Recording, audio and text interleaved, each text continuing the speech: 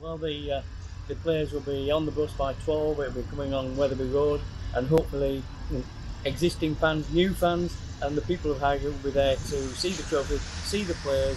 The players are really looking forward to connecting back with the sports club. They, they were denied that at Wembley, um, and it's it's closing the door on the celebration, and now it's down to business of getting promotion from EFL two.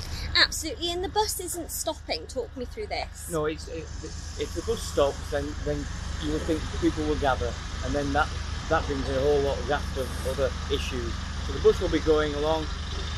To be very honest, traffic doesn't move very quickly in Harrogate anyway, so it's going to be uh, going at Harrogate pace, and the people, everybody will get an opportunity to see the players, see the trophy, uh, and the players to see the people. And how is the bus going to be looking? Just finally? It will look. Uh, you will know it's Harrogate Town bus. Uh, it will be.